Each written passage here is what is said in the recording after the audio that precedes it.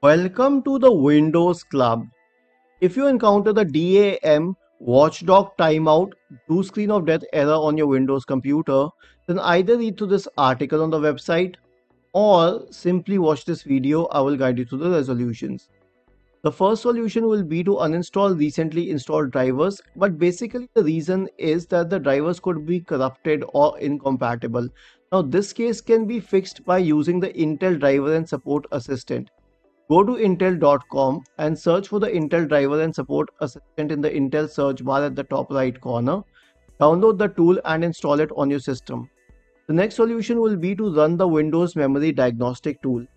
Press the Windows key and the R button together to open the run window.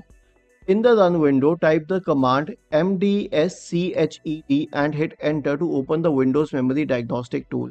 Click on restart now and check for problems. The last solution will be to use the Driver Verifier Manager tool. Press the Windows key and the R button together to open the run window.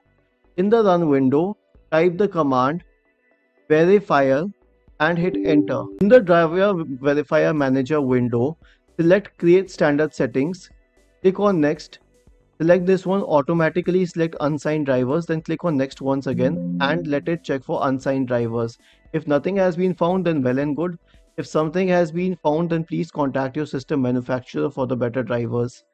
Isn't this easy and interesting? If you have any doubts, please go to the original article on the Windows Club, scroll down to the comment section and write your query. We will surely answer to it. Do not forget to subscribe to the channel. Thank you for watching this video and have a nice day.